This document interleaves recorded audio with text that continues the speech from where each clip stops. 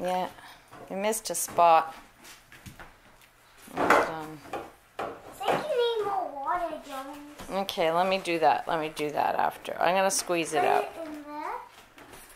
Okay, that. That's it. Let's help you with that. Lift it up. Okay, wait, it's stuck. No, I don't. Okay, wait, wait, wait, wait. Don't fight over it. Oh, you're fighting over work. Wait, wait, whoa, whoa, whoa, whoa, whoa, whoa, whoa. Not acceptable.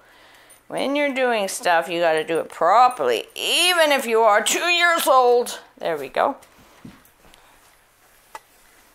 Excellent. I wish you could be toilet trained just as easy, huh, Jonah? Yeah. Yeah, that's it. Good. You don't keep dipping it in. You have to work it a bit. Eh? I mean, toilet training could be easy like this if you enjoyed it so much.